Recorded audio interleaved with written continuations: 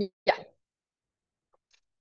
Buenos días a todos. Mi nombre es Slavka Chelevivki, soy médico cirujana de la Pontificia Universidad Católica de Chile y actualmente soy becada de oftalmología del Hospital del Salvador.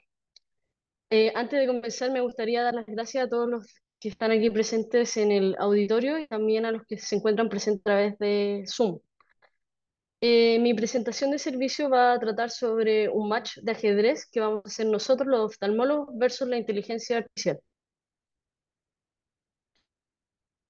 En relación a esto, primero que todo, el ajedrez es un juego de mesa estratégico de dos jugadores que se juega en, en un tablero de 64 casillas, 8 por 8. Cada jugador tiene en su posesión 16 piezas. Habitualmente son blancas versus negras. Tenemos 8 piezas que son iguales, que son los peones, que son las piezas de menor valor. Y tenemos dos torres, dos caballos, dos alfiles, una dama y un rey. El fuego se remonta, se cree que sus inicios son alrededor de, en la India, alrededor del siglo VI, y se cree que el juego originalmente se llamaba chaturanga. El ajedrez moderno, tal y, como, tal y como lo conocemos el día de hoy, surge en Europa en el siglo XV y las reglas nacen en el siglo XIX con la creación de FIDE, que es la Federación Internacional de Ajedrez, en el año 1924. El objetivo del juego es dar jaque mate al rey oponente, lo que significa poner al rey bajo amenaza directa de captura de manera que no pueda escapar. O sea, hay dos desenlaces posibles en este juego. O hacemos tablas o yo gano. El ajedrez no es solamente un juego, no es solamente un juego, sino más bien es una disciplina intelectual que eh, mejora las habilidades de la concentración, la memoria y la resolución de problemas. Bueno, el de la imagen es mi abuelo Saprián Chelevivki. Él proviene de Bulgaria. Y bueno, muchos me preguntan si sé hablar búlgaro. La verdad es que él nunca me enseñó a hablar búlgaro, pero lo que sí me enseñó es a jugar ajedrez y una buena partida de ajedrez me enseñó y me incentivó a participar en distintos torneos cuando era más chica. De hecho, una vez tuve la oportunidad de ir a Argentina para jugar ajedrez. Así que todo lo que sé de este deporte se lo agradezco a mi abuelo.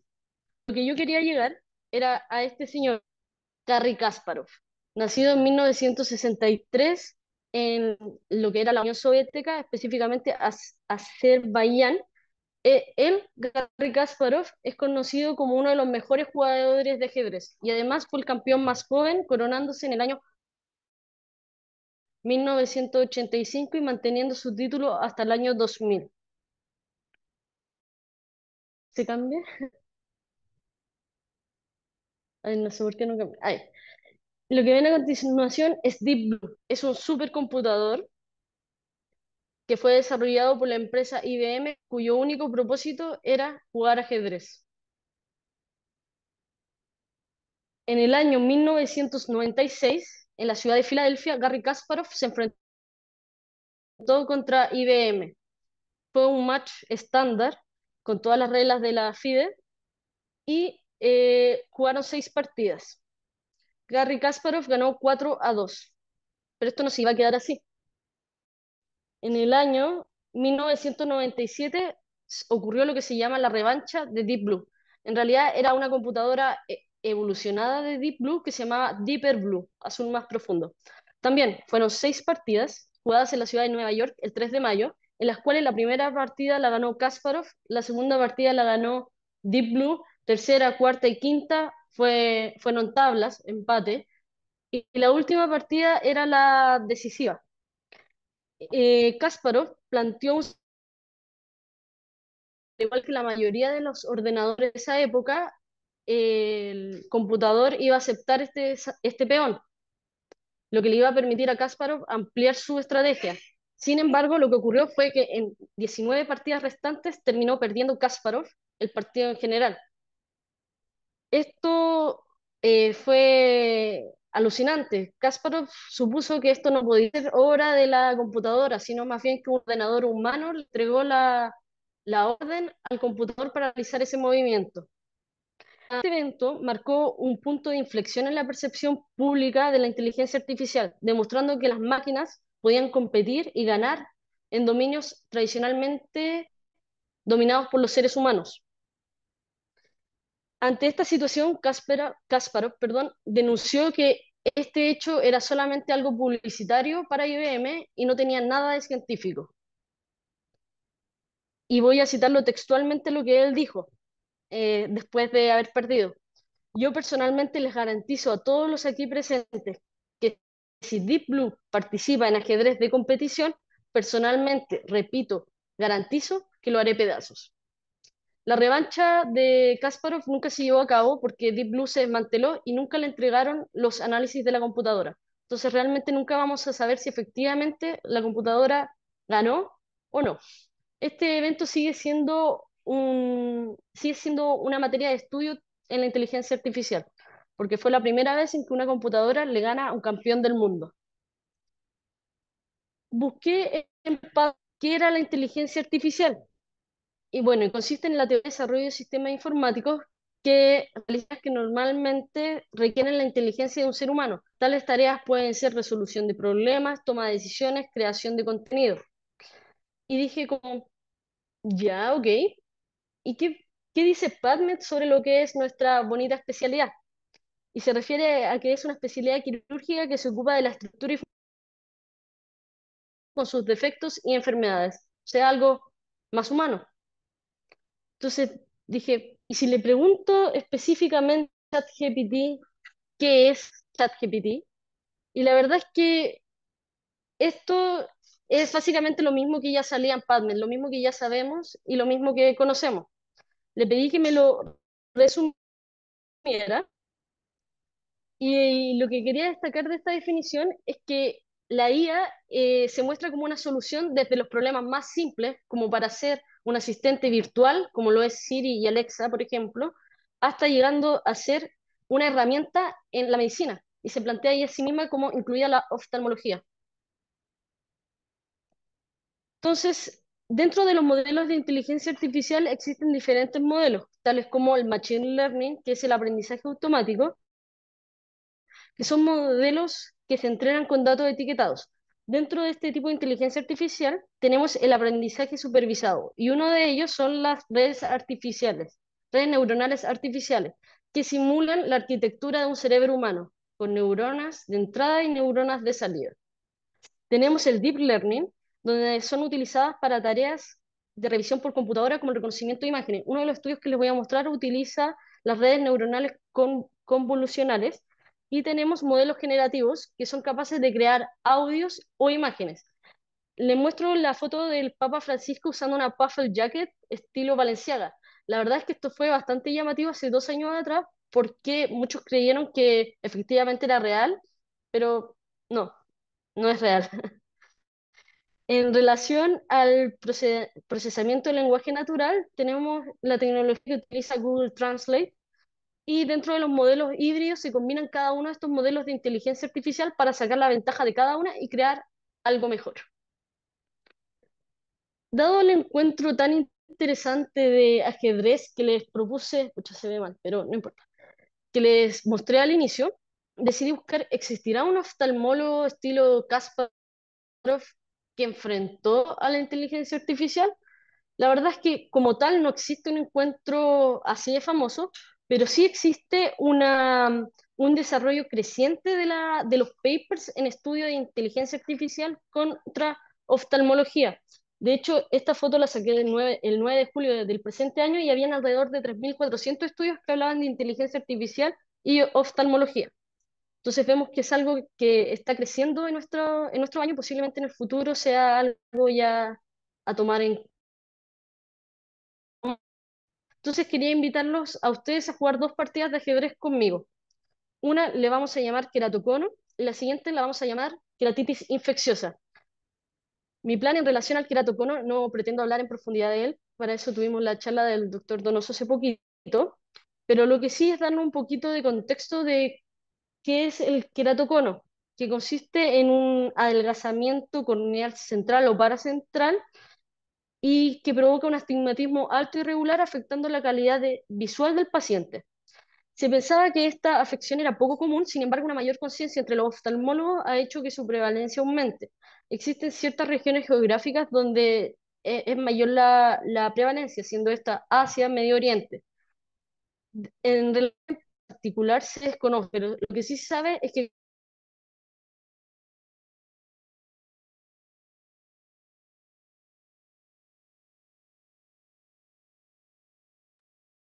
Se te fue el sonido, se te, te fuiste, se- te fuiste. De repente se te ¿Volví? corta, sí, pero de Es repente que se creo te que corta el audio. perdón, es que creo que debe ser el internet. No estamos con bueno internet acá en, en el servicio. Pero ahora me volví a escuchar.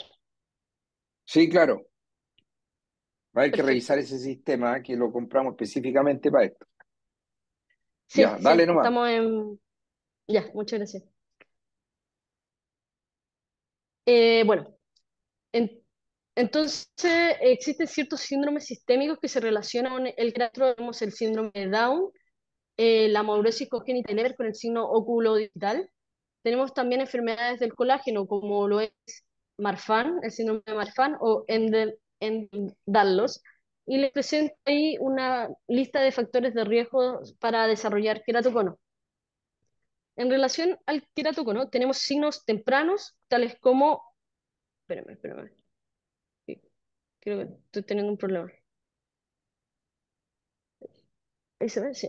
Ya. Tenemos signos tempranos del queratocono que un error refractivo asimétrico con astigmatismo alto progresivo, una queratometría que muestra un astigmatismo alto irregular. En la esquiascopía podemos ver reflejo, el reflejo de tijera.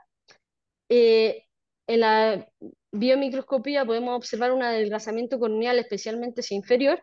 El signo de Risuti que se pone de manifiesto al iluminar desde el lado temporal, o sea, iluminar lateralmente la córnea desde el lado temporal, comprobando un reflejo cerca del limbo nasal el anillo de Fletcher que consiste en el depósito de hierro en la base del cono y las estrías de Fox que son estrías que ocurren en el estroma que si uno aplica presión estas desaparecen. A continuación espero, espero que funcione el video, pero quería mostrarles ya. Lo que quería mostrar con este video lo obtuve de la página del doctor Jalil. Era un leucoma apical, las estrías de Fogg, que espero que se vean tanto acá como allá, y el adelgazamiento de la córnea hacia inferior. También tenemos signos como lo son el signo de, perdón mi pronunciación, Munson, donde es una protuberancia del párpado al mirar hacia abajo. Tenemos roturas en la capa de Bowman y drops agudo, que es una afección en la que la rotura de la membrana de Descemet permite la entrada de líquido hacia el estroma, generando una, generando una disminución de la visión, sensibilidad a la luz, lagrimeo y dolor. Y tenemos una cicatrización estromal producto del lead drops agudo. En algunos casos, paradójicamente, eh, paradójicamente, la Academia de Oftalmología Americana menciona en que existe que esta cicatrización estromal puede mejorar en algunos casos la visión debido a que cambia la curvatura corneal y reduce el astigmatismo irregular. En esta diapositiva les presento los signos topográficos sugerentes de queratocono o ectasia cor- corneal. Lo que yo quería ver era que el diagnóstico lo realizamos basándonos en la historia de la refracción, en la visión mal, eh, mal corregida con los lentes, en la esquiascopía y también en los hallazgos a la biomicroscopía, a la biomicroscopía. También tenemos el uso de imágenes, como lo son la topografía, tomografía o incluso los CT. La detección temprana de queratocono es importante, ya que las opciones de, trata- de tratamiento, como un crosslinking en una persona que va progresando, pueden ayudar a, preservar una buena visión si la afección diagnóstica la, la la encontramos rápidamente. Estudio a inferior, se destaca que aún resulta difícil para los médicos, por ejemplo, eh, en el estudio se refiere a los médicos novatos oftalmólogos, entonces como su humilde servidor aquí, identificar tempranamente a los pacientes con formas leves o subclínicas de ectasia corneal. Sabemos que el queratocono es un trastorno progresivo de la córnea que comienza a una edad temprana y el diagnóstico se basa en el examen clínico y las imágenes de la córnea, como lo vimos anteriormente. Aunque en las primeras etapas, cuando no hay signos clínicos, el diagnóstico depende de la interpretación de imágenes de la córnea. Y ahí es donde entra la inteligencia artificial. Les quería traer dos estudios principalmente. Este es uno. Este es un estudio retrospectivo sobre 851 sujetos por ISARTI. Utilizaron un diagnóstico de asistido por computadora para diagnosticar las eh, pacientes con ojos normales, queratocono y queratocono sospechoso. Eh, su algoritmo matemático mostró una precisión del 96.56% en sujetos con queratocono sospechoso y del 99.5% en pacientes con queratocono leve a moderado. El algoritmo propuesto entonces es muy preciso y proporciona una plataforma de detección estable para ayudar a los oftalmólogos en la detección temprana de queratocono. Y este tipo de inteligencia artificial podría ser utilizado en los tomógrafos de chain flux, por ejemplo. Sin embargo, a pesar de que suenen un poco mágicos, sin embargo, a pesar de que estos números son un poco mágicos, eh, dentro de las limitaciones de que recalcan los, autores de este estudio es la definición de queratocono sospechoso, ya que aún no existe un consenso para esta identidad, y también recalcan que el diagnóstico tiene algunas limitaciones en cuanto a la clasificación incorrecta de falsos positivos, que pueden estar relacionadas con la similitud clínica entre las etapas sanas y sospechosas de la enfermedad. Este otro estudio eh, plantea una aplicación interesante de la inteligencia y este es un trabajo de Kuo, de la, Universidad de Taiwán, que está representado por el uso de Deep Learning con modelos neuronales con convoluciones a partir de la detección de imágenes de computadora, encontrar sensibilidad y especificidad de los modelos en general del 90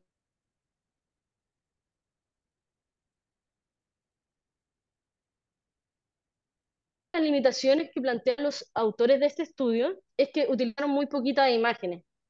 Utilizaron 304 imágenes, de las cuales 28 sospechosos, 170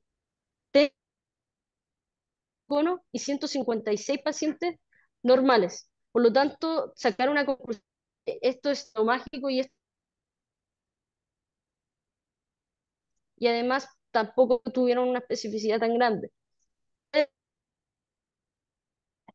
Se, escucha muy cortado, ¿eh? se escucha muy cortado.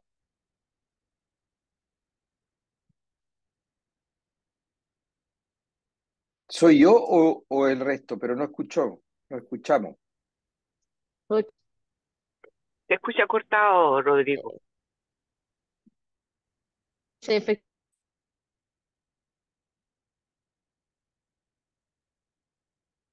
Está muy interesante cómo va a perder el Ah, ya audio, Slavka. A, ver, y saqué la, el video, como me enseñaron, espero que ayude un poco.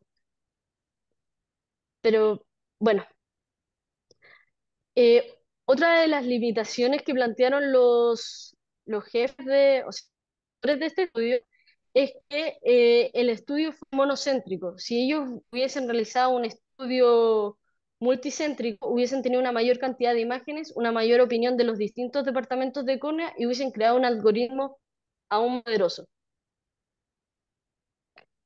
Y así podría mostrarles muchos, pero muchos estudios de queratono versus inteligencia artificial. Pero acá tenemos Cochrane, que es el alma de la ciencia. En este el objetivo de este trabajo fue evaluar la precisión diagnóstica de los algoritmos de inteligencia artificial para detectar queratocono en personas que presentaban errores refractivos que no corregían con, con lentes, en pacientes que buscaban una cirugía refractiva y en aquellos con sospecha de tener un queratocono. La fuente, cómo entrenaron estos algoritmos, los, los 63 papers que incluyeron, fue a través de tomografía, topografía y OCT de segmento anterior se incluyeron, como dije anteriormente, 63 estudios desde el año 94 hasta el año 2022, o sea, esto es bastante reciente. Y aquí viene la lo que cargue aquí la magia para el auditorio. Ya, en realidad, pucha, se ve mal, pero igual se lo puede decir. La precisión de la IA para queratocono parece casi perfecta. Para, tenía una sensibilidad del 98.6% y una especificidad del 98.3%, o sea, esto es magia la verdad es que no es tan así, porque si nos vemos en, la, en respecto a la precisión dentro de los estudios y la certeza de la evidencia, fue baja para esto. Y en cuanto a para queratocono subclínico, disminuye tanto la sensibilidad como la especificidad, siendo la sensibilidad un 90% y la especificidad un 95.5%. Y la certeza de la evidencia y el sesgo fue aún peor. Pero en términos prácticos, ya, en términos sencillos, para queratocono, si tenemos mil pacientes con queratocono, mil pacientes en general, hay 30 pacientes que si yo utilizo esta, esta inteligencia artificial, hay 30 pacientes que yo le diría, usted tiene un queratocono, usted no se puede operar de cirugía refractiva, perfecto, y no se me va a pasar absolutamente ningún paciente. Sin embargo, hay 17 pacientes a quienes yo le diría, usted tiene un queratocono, tiene que ir a un, a un servicio terciario, a un hospital, a un córnea. Que no es así porque son pacientes sanos. Y en relación a queratocono precoz subclínico, si volvemos a agarrar mil personas, hay nueve personas a quienes le diríamos, usted tiene queratocono. Pero hay una persona que dejaríamos libre y esa persona, si le ofrecemos una cirugía refractiva, empeoramos la ectasia corneal. Y dentro de las 910 personas restantes, hay 49 personas a quienes le diríamos, usted tiene un queratocono, tiene que ir a ver, tiene que ir a verse a un servicio terciario o a un equipo de córnea. Entonces, los autores de esta revisión calificaron a la mayoría de los estudios como alto riesgo de sesgo, preocupación en cuanto a su aplicabilidad roles. Em, por lo tanto, no es posible establecer conclusiones claras y confiables debido al alto riesgo de sesgo, la heterogeneidad explicable de los resultados y las altas preocupaciones de la aplicabilidad. Todo esto redujo la confianza en la evidencia. Por lo tanto, se tiene poca confianza en la evidencia sobre la exactitud de la IA para detectar queratocono manifiesto y se tiene poca o ninguna confianza en la evidencia relacionada a queratocono precoz. Además, hubo un problema en cómo se desarrollaron los distintos estudios. Por ejemplo, dentro del queratocono precoz, los 28 estudios que incluyeron esta revisión, cada uno mostraba una definición distinta para queratocono precoz. Entonces, hubieron problemas en cómo se realizaron los estudios, haciendo que la IA parezca más precisa de lo que realmente es. Por lo tanto, oftalmólogos 1, IA 0. Hemos ganado la primera partida. En relación a la queratitis infecciosa, nuevamente no planeo entrar en detalle en ella, pero sí mencionar que se refiere a una infección corneal. Y estas infecciones pueden resultar en una grave discapacidad visual e incluso la pérdida permanente de la visión, si no se tratan de forma oportuna. La queratitis infecciosa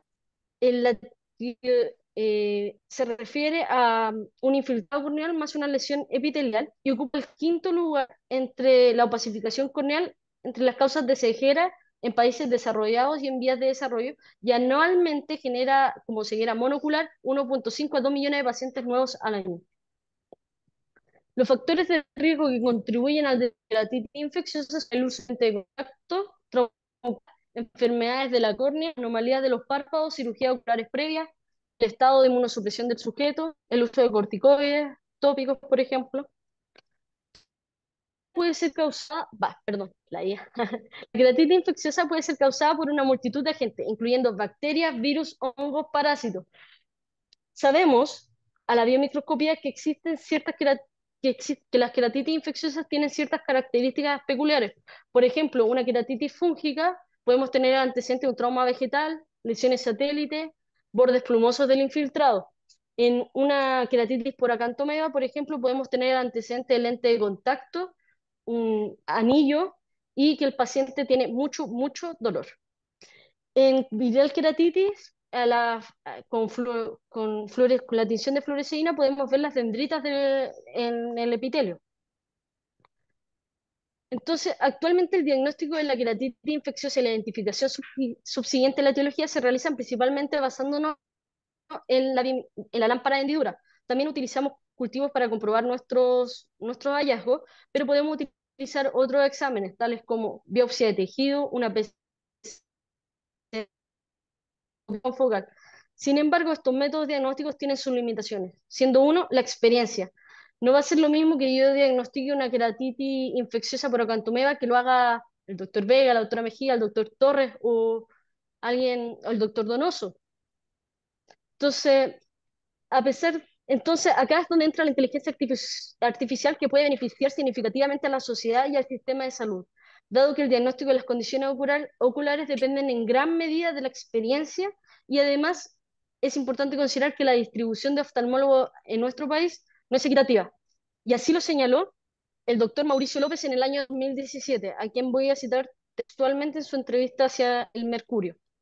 En materia de temas pendientes en el sector, hay que mejorar la distribución de especialistas oftalmólogos a nivel nacional, sobre todo en las zonas extremas, y asegurar que exista un equipo adecuado para realizar exámenes preventivos de diagnóstico y tratamientos a lo largo de Chile. Ha surgido entonces un número creciente de estudios que han utilizado la inteligencia artificial en el diagnóstico de queratitis infecciosa. Por ejemplo, estos tres papers que tratan de hacer una revisión sobre su aplicación y han visto cómo esto ha ayudado tanto para el diagnóstico, la detección de la etiología y además en el manejo de queratitis infecciosa, siendo una herramienta que le puede ofrecer una solución avanzada a la escasez de oftalmólogos y mejorar la atención y los resultados para nuestros pacientes. Me gustaría mostrarles dos más que este, tenemos que cargar, que este es el primer intento de aplicación de la IA en el diagnóstico de queratitis infecciosa y utilizó una red neuronal artificial, o sea, utilizó Machine Learning, aprendizaje automatizado. La importancia de este trabajo es debido a que la identificación rápida de agentes microbianos en úlceras corneales es crucial para una terapia oportuna y adecuada. Métodos tradicionales como la evaluación a la lámpara de hendidura, pruebas de laboratorio y microscopía confocal, por ejemplo, tienen limitación en la velocidad, sensibilidad y disponibilidad. en el sótero existe la microscopía confocal, en nuestro servicio no está disponible.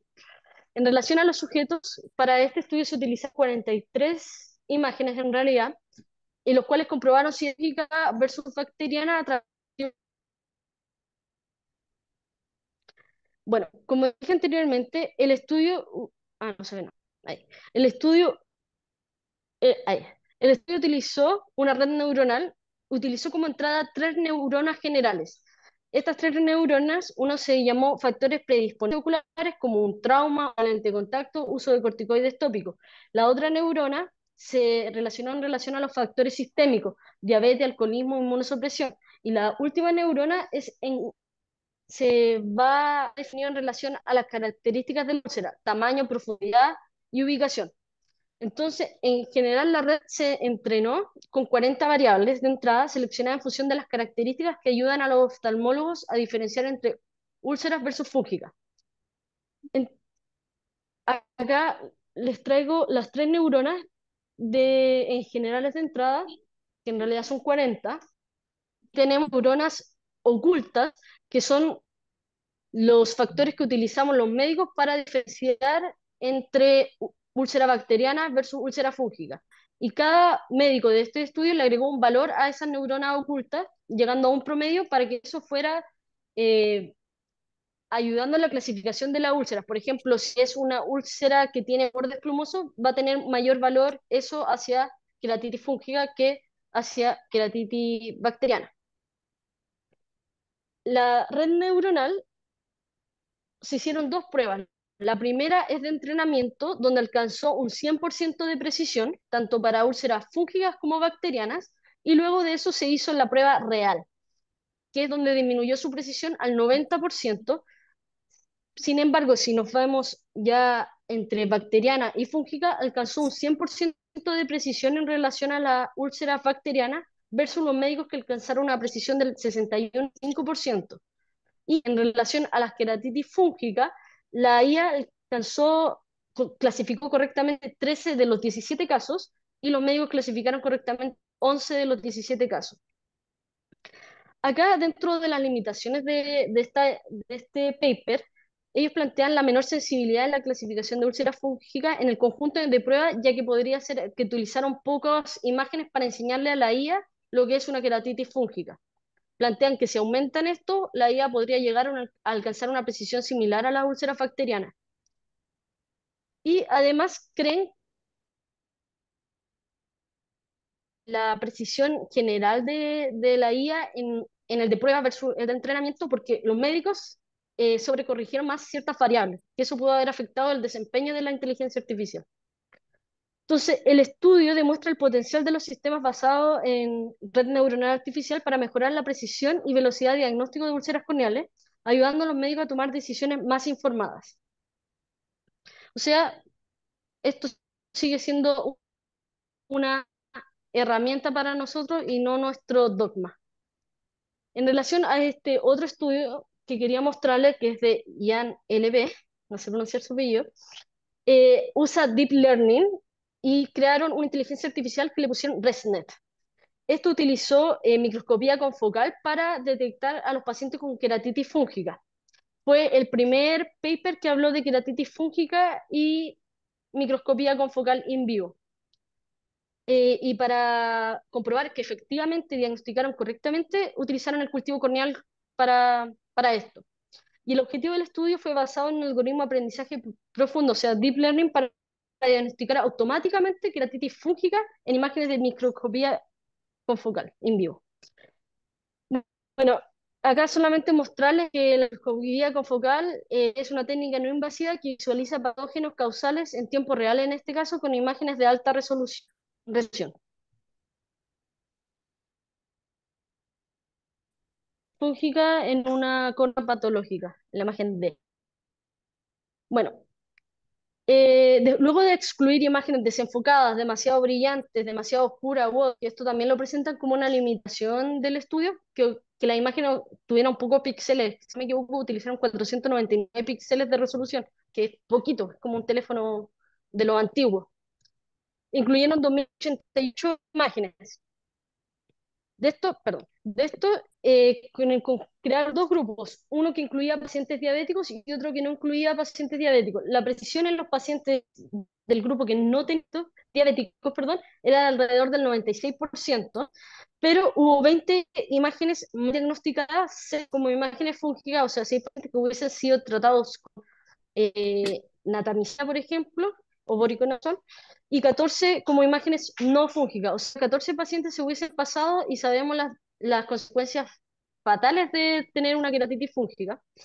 Y en el conjunto de entrenamiento número 2, donde incluyeron pacientes diabéticos, la decisión disminuyó 6.26%. Entonces, por lo tanto, en el campo diagnóstico médico, una precisión 96.26% no es suficiente para un tratamiento médico. Por lo tanto, este sistema solamente puede considerarse como un método auxiliar para proporcionar una referencia para el tratamiento oportuno. Los autores además declaran que si hubiesen tenido la posibilidad de tener aún más imágenes y de mejor calidad, hubiesen podido enseñarle mejor a su IA y mejorar la precisión de ambos dos grupos, alcanzando una precisión aceptable para el área médica. Entonces, al final es como si estuviéramos en 1900 196 y fuéramos Kasparov ganando en Filadelfia. Pero creo que más, más que ver a la inteligencia artificial como una competencia, deberíamos verla como un ayudante o un becado que nos va a hacer el trabajo mucho más fácil. La inteligencia artificial, ya a modo de conclusión, tiene el potencial de formar el diagnóstico y tratamiento de las enfermedades de la córnea, mejorando significativamente los resultados en oftalmología. Las aplicaciones actuales de la IA en este campo están demostrando resultados prometedores y se vislumbra un futuro con grandes avances científicos. Puede que en algún momento seamos Kasparov perdiendo contra la inteligencia artificial como lo hizo él en 1997. Con la continua evolución de la tecnología de la inteligencia artificial, su adopción podría generalizarse ampliamente. Podría agilizar los diagnósticos precisos, facilitar planes de tratamiento personalizados y mejorar así los resultados de nuestros pacientes. En el, futuro, esto podría automatizar la detección de microorganismos, ofrecer consultas remotas en áreas rurales, por ejemplo, los que nos famosen, y mejorar la precisión de, los tratamientos oftalmológicos, reduciendo los errores humanos y, mejorando el acceso a atención médica ocular. Y ya para contarle algo más avanzado que Kasparov, esto ocurrió en el año 2016.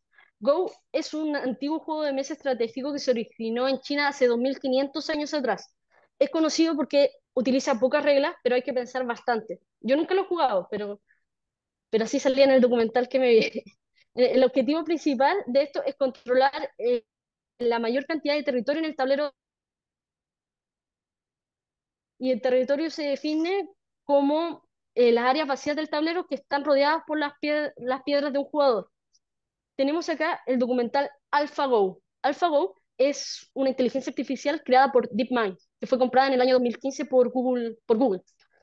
Lee Sedol, que es uno de los que se ve allá, acá, Lee Seul es uno de los jugadores de Go profesional surcoreano, considerado como uno de los mejores jugadores y es como su propio Kasparov en este juego. AlphaGo y, y Lee Sedol se enfrentaron en una serie de cinco partidas en el año 2016 en Seúl, en Corea del Sur. Y bueno, jugaron cinco partidas, de las cuales solo una partida pudo ganar Lee Sedol, lo que fue una sorpresa para muchos expertos en Go y en inteligencia artificial, similar a lo que le pasó a nuestro Kasparov en el año 1997. Eh, Lee Sedol en el año 2019 anunció su retiro del juego como profesional y él citó que su razón fue el creciente dominio de la inteligencia artificial como una de las razones. muchas gracias.